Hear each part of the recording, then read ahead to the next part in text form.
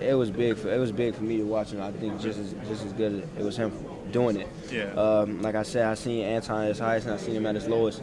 And I, I said before that he was gonna be the reason. Uh, you know, we go far. He was gonna step up, and he, he did that. And I wasn't surprised at all. Like I said, in high school, I seen him score 50 point games. Yeah. And I'm just happy for him, man. Through his struggle and being mentally drained all year, and last year not getting playing time. But you know, he got that mindset. Every time you get in, it's an opportunity to, to step up big, and he did that today. Do you feel like once that kind of he had that awkward rim shot where it kind of poked off the backside of the rim and popped up and in? Did you, you know, when you're, you're a shooter, when you saw that, you're like, hmm, this could this could be something. Like, anytime the ball go in, you should be happy about it. I don't care who you is. I don't care how ugly the shot is. If it go in, that's that's good. And when I seen that, I'm just happy for him, man. Every time he score, any of my teammates score, I'm happy for him, no matter how we get it. You are elite eight, buddy. It feels amazing. It feels amazing. Like I said, I, I haven't took it in yet, man. Until I talk to my family, see how happy they is. I'm a guy that don't really show my emotions all like that. My, I'm I'm excited. I'm excited, and we're not done yet. We're not done yet. mom out there. She is so proud. What does she mean to you? She means a lot. Man. She means a lot. Her, her and all my family. Uh, a lot of people know my story. A lot of people don't. I've been through a lot. Seen a lot. Uh, now my my dad not being here, and she, her, my grandma, my aunties. You know, everybody in my family been big supporters, and I couldn't thank them enough. And just for me being on the stage to, to, to show my brother him being here, he, how he look up to me, and he's on his way to do the same thing I'm doing. It's just amazing because you know he's he's him and my sister's my biggest my uh the people I, I mainly do it for, and just to do that in front of him and him seeing me being successful at this stage is amazing, man.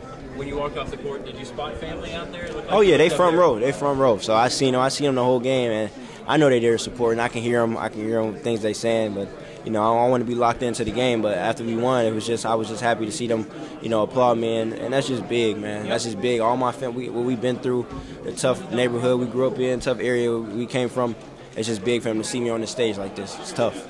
It's fun. A lot of fun. you and Anton have been through, that moment when he comes back to the bench, you come back to the bench. There's a there's a there was an embrace there. It was like we're I making went, it.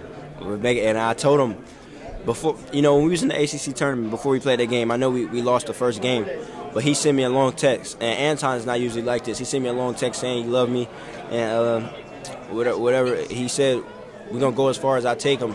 And, you know, just hearing that from one of my brothers, man, is, is just amazing because he don't really say much. He like to joke. He he try to show like tough love. He don't really, you know. So that was big, man. I, and I said uh, probably a month ago that he was going to be the reason, you know, we make it far. He was going to step up in a crucial time, and he did that today. And like I said, nobody nobody don't understand our relationship. We've been through a lot. I seen him at his highest, seen him at his lowest. He seen me at my highest, he seen me at my lowest. So people don't know our story, but we making it. We want to keep it going, man. We want to keep it going. What would you say to him when, when he came back? What? When he came When back back to the came So. I told him I proud of him. I told him I love him, and I told him how proud I am of him. Uh, like I said, I seen him at his highest, I seen him at his lowest. So I'm I'm I'm very happy for him. I don't think nobody is happy happy for him than I am in his family. But that's amazing. That was big, man. That was big, and it just shows you how mature he is. He got an area and he, and he sees his opportunity, and he took he took he took it he took advantage of it. Took care of business. Mangok said he remember watching the game. between You and him play where you had that 69 point and Manton had 40, and that was he called him a bucket getter in that game. Is that what you call him, or what do you call him? Anton, he he always been a bucket getter. Like I said, it was game. It was games where he scored 50. He scored probably I think three 50 point games before at Hargrave. So any shot that he, he make, I'm not surprised at, all. And, and I tell him all the time when you get in the game, do not hesitate. You know, uh, when you get you got here and then you kind of got away from your game a little bit because you know you got the coaches in your ear and you probably you know down on yourself. But I told him when you in there with me, when I pass you the ball, you better shoot it, man. You better shoot it. I know what you can do, so you better shoot it. I've been there when you was at Hargrave, filling filling it up, scoring all them points, so you better shoot it. He took advantage of that, man. He did that, and Why I'm so proud. I'm so why proud. Why did it translate? You've seen him in Hargrave. You've seen him now. What's what's been the difference? Why why did it take till now? Do you think? Uh, it ain't that it took now. It's just that he he believed in himself, and that's all. I mean, eh, he can't he can't control his playing time, and he don't really play that much. You know, he works hard. Sometimes you just got people in front of you, and coach was playing D Lev over him. But like I said, he never got down, man. It, it, he never really got down, and when he got in the day, he showed maturity and he stepped up big for us. So whatever happened, happened. That's in the past. We we here, we at Elite Eight, so we got to win. And if he if he get in again, I'm pretty sure he gonna have this confidence gonna be even more high. How are you such a good rebounder? Uh, it goes back to uh, uh, growing up at the park and us playing. It's the game called 33 when everybody for themselves. So I was the smallest one, but I would get in there. I I'd fight, grab, bite. I don't care what I had to do to go get the rebound. because you over there playing with the big guys and uh, playing. Everybody's taller than me, so you had to get your own rebounds to the game of 33. So I think that's where it come from. And then now I can go back home and go to that park, and I'm bigger than everybody, and I can jump. I can jump higher than everybody now. I say let's play game 33 now. So I think that helped me a lot.